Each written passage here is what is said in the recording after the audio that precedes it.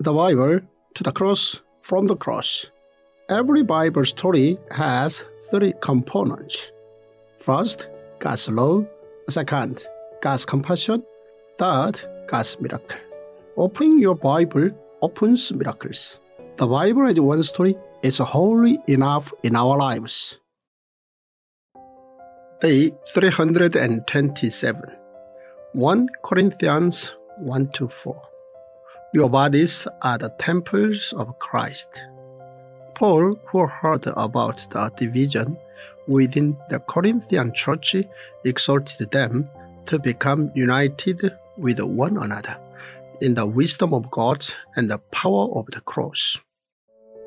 First point 1 and 2 Corinthians were Paul's letters, written during his third missionary journey. During the time Paul spent in Ephesus, he wrote to the Corinthians church members in order to persuade them to have the attitude of service. This was coming from Paul the minister. The context in which Paul wrote Corinthians was as follows. When Paul was in Ephesus, he heard the news of Corinth. This was that the members of the Corinthians church had divided themselves into followers of Paul, Apollos, Peter, and Jesus, and they were fighting among them. Thus, Paul wrote Corinthians in order to address the divisions within the church and also regarding the attitude they were to have as Christians. At the time, the circumstances at the city Corinth and the Corinthians church were as follows.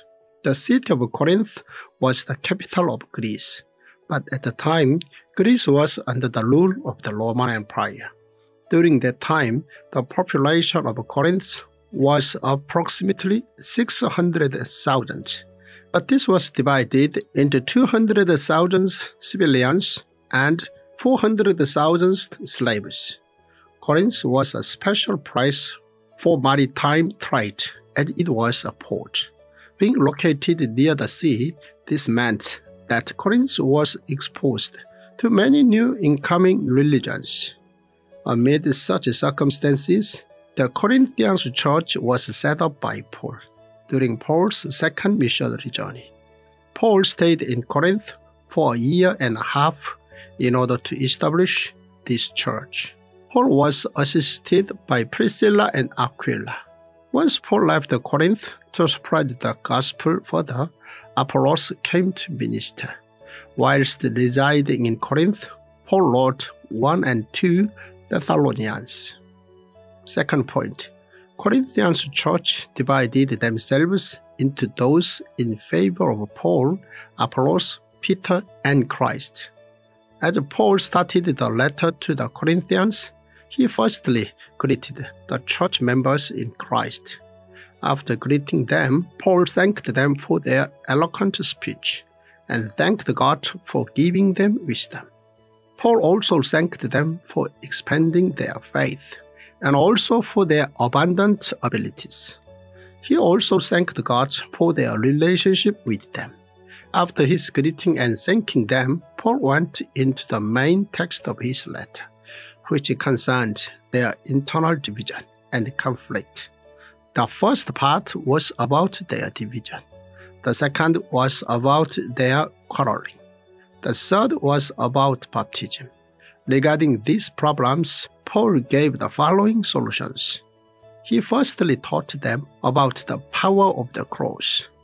He secondly taught them that the only thing they had to collectively boast about was Jesus.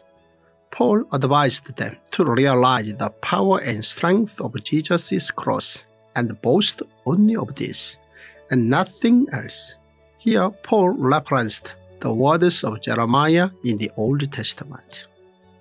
Third point Paul confessed that when he preached the gospel in Corinth, he did not deliver human words or wisdom, but only the cross of Jesus Christ. Paul pointed out the problems in the Corinthians church and then provided them with solutions. In Athens, Paul had made up his mind that he would not speak of his other knowledge and only deliver the message of Jesus' cross. Thus, Paul had only delivered Jesus' cross to the Corinthians church. Paul then confessed the difficulties he experienced during his two missionary journeys, and especially whilst in Corinth, and how he was able to overcome them through the courage and guidance of the Holy Spirit. Paul was therefore able to teach the Corinthians about the wisdom of God. Here, Paul referenced the words of Isaiah. To the Corinthians church, Paul taught that those who received salvation received the Holy Spirit, and with the Holy Spirit, they would be able to distinguish the will of God. Here, Paul again referenced Isaiah. First point Paul taught that in the moment of Jesus' cross, our bodies became the temple of Christ. As Paul wrote the letter to the Corinthians, he was able to tell that their faith had not yet matured. Paul wrote that he and Apollos were missionaries who served God and who were voluntarily God's servants. Thus, Paul was the one who planted the Corinthians church. Apollos was the one who watered them. But it was only God who enabled them to grow. To them, Paul declared that their bodies were the temple of Christ. When Jesus proclaimed, It is finished on the cross, the curtains of the Jerusalem temple lifted, and at the moment our bodies became the temple of Christ.